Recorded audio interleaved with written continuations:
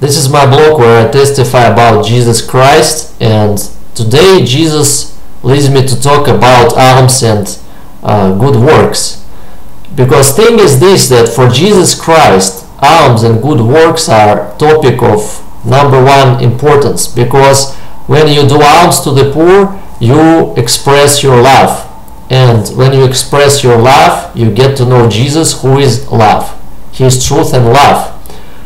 Provided that you live according to His gospel, that you live holy and righteously, that you obey all His other commandments, but more than everything else, when you do alms to the poor, your soul gets to know Jesus Christ. When you do those good works, your soul gets filled with Holy Spirit. And if you live righteously and pure, this Holy Spirit grows in you and stays in you. Many people can get to know Jesus because of this, because either they live in sin and they try to do good works, but then they go willfully sinning and everything good which came into them because of those good works goes out because then they upset Holy Spirit with their sins, willful sins, and Jesus doesn't stay to live in them. Other people don't get to know Jesus because maybe they live pure, but they don't do good works or do them in the wrong way, don't do them enough, because Jesus comes into the soul when you express love in this world. And one of the biggest loves which you express is when you do alms. That's why John said that if we see brothers and sisters in need and we're able to help and we're not helping, then how the love of God lives in us. And he says, let us love in deed and in truth and not in words.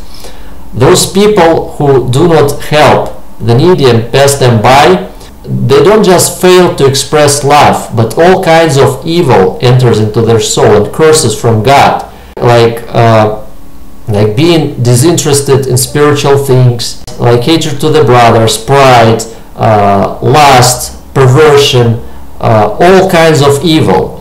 That's why Pharisees killed Jesus because the first thing that Jesus preached when he came and preached his gospel was alms. He said to do good works, to give to the poor. And he rebuked Pharisees for that because Pharisees uh, utterly failed in that and he rebuked them for this. And it's written that they were covetous, they loved money. And it's written you cannot serve God and money because God is love and love helps others and gives money to others. And if you serve money, you will not give to others, you will store up for yourself and you will not get to know Jesus who is love. Moreover, these Pharisees, they failed at those works and this evil entered into them in and in and in and their characters became more mean and mean and in the end they crucified Jesus and uh, same happened with Cain and Abel. Uh, Abel brought a good sacrifice to God, Cain brought a bad sacrifice to God, and passions entered into Cain's soul and he murdered his brother Abel. So when you fail to express love, you don't just fail to express love, evil enters in when you don't do alms to the needy. But this sin is very dangerous, especially to serious Christians, because uh, people who are not serious about Jesus, who live in willful sin, they're on the way to hell anyway. But those who try to live pure, uh, some of them think that just because you live pure, you don't practice perversion and lust and things like that, that you're going to heaven. But that's not like that. That's why Peter said that how should we be in godliness and holy life if we want to get saved?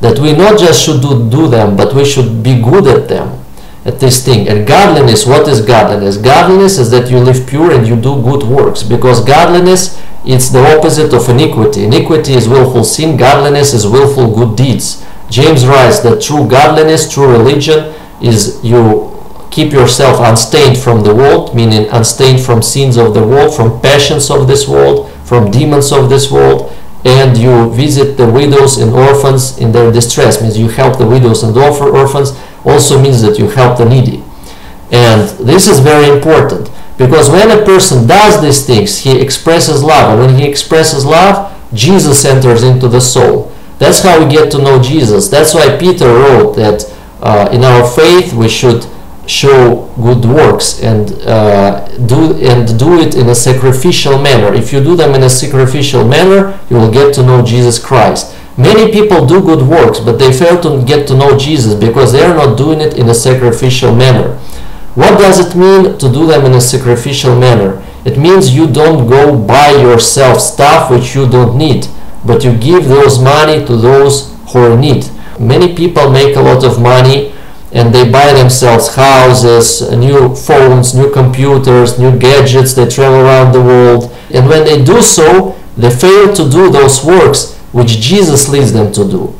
And they maybe give to the poor, but not sacrificially. They do it out of abundance. And that's why many of them don't get to know Jesus. But when you deny yourself those things and you say, I'd rather spend this money on works to the poor than travel to some country. I'd rather spend this money on works to the poor than buy myself a new phone. I'd rather spend this money to get to know Jesus more and to obey Him than to buy myself a new computer which I don't really need or to make a, a redecoration in my house or uh, buy myself new clothes or go dining into some cafes. And that's how you escape the worldly lusts. Jesus came to save us from worldly lusts. In this world there are needs and lusts. Needs is things we we really need. We need food we need shelter uh, we need clothes. No problem with that but lusts are things we don't need. We don't need luxury clothes. We don't need fancy shelters. We don't need to travel all, all around the world. We don't need uh, expensive computers. We don't need uh, new iPhones and all those things. We don't really need them. And when people spend their money instead of works of love on these things, they worship idols. And when they do so, instead of getting to know Jesus, uh, another spirit enters in, which is spirit of error and spirit of delusion.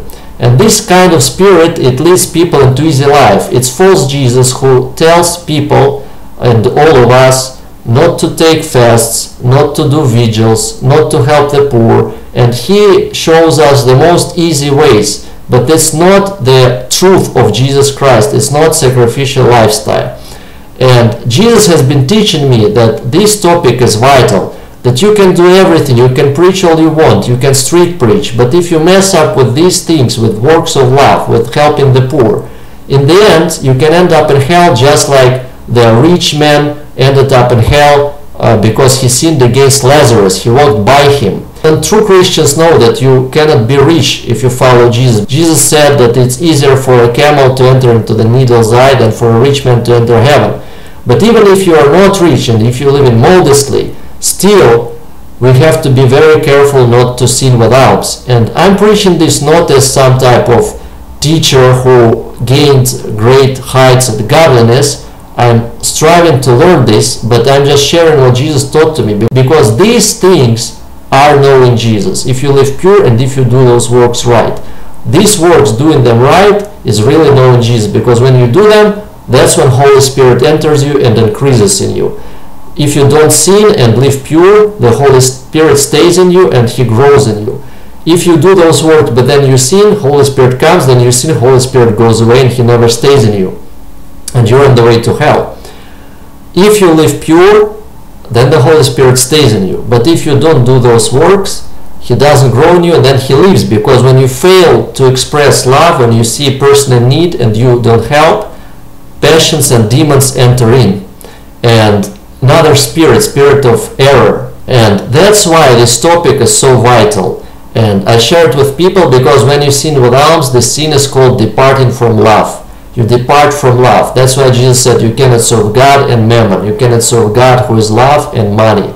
Because when you have love you help the poor needy. When you serve money you buy yourself new things. You store up for yourself wealth on this earth and treasures on this earth. And in the end, Jesus can say, I never knew you, depart from you that work iniquity. And you can say, Well, I preached, I did this, I did that. And Jesus can say, I don't know you. Because helping the poor is knowing Jesus Christ, provided that you also live according to all his other commandments. But alms to the poor is number one thing which cleanses the soul from evil passions. Number two is fast. Number three is vigils. And to not mess up with alms and with other sins, not to fall into other sins, we have to take fasts and vigils. And Jesus revealed to me that at least once in every five days you should do something. Either a vigil or at least half a vigil, it means you sleep three, four hours a day. Vigil, you don't sleep at all. a fast i don't say water fast but you can take fast on porridge you just eat a porridge maybe seven spoons or seven spoons of cornflakes uh, one boiled egg a piece of bread with butter tea with no sugar and this you eat two times a day that's a fast moderate fast not a strict fast if once in five days you do something either a vigil or half a vigil once in five days or a fast uh, better try to do a full vigil then when you do all these things, your flesh suffers and your pride gets crushed. When your pride is crushed, pride loves himself. When a person is, has a lot of pride, pride loves yourself. He doesn't love others. And when a, when a person falls into pride, he automatically falls into serving money.